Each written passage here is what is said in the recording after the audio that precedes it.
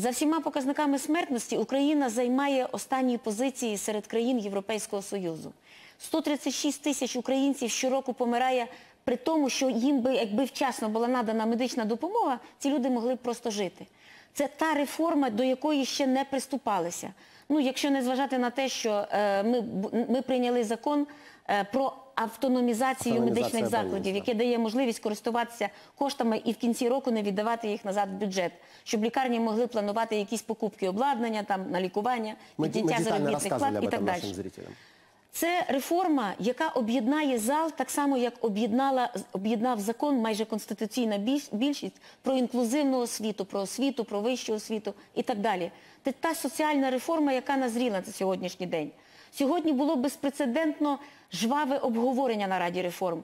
Були присутні представники всіх фракцій, крім батьківщини, на диво.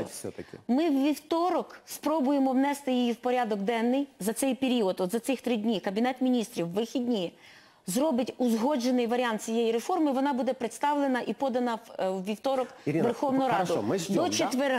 четверга ми хочемо проголосувати її в першому читанні. Ну, хотелось бы надеяться на две вещи. Во-первых, что голосование пройдет и удастся набрать. И во-вторых, что готовили эту реформу не в попыхах, а действительно хорошо и профессионально. Я Вас хочу не до- смущает, что реформу в системе здравоохранения сейчас проводит не министр, а исполняющий обязанности министра? Я, власне, Скоро про це і земельную хотіла реформу, скорее сказати. всего, у нас будет проводить исполняющий обязанности министра. Я власне про це і хотіла сказати. Е, Уляна Супрун при всіх її е, достоинствах, при всіх її позитивних моментах при волонтерстві на Майдані повинна була показати депутатам результат.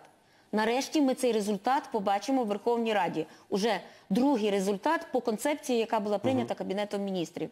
Я думаю, що коли вдасться прийняти цю медичну реформу, а ми поставили собі таку амбітну мету до літа її зробити, проголосувати в другому читанні.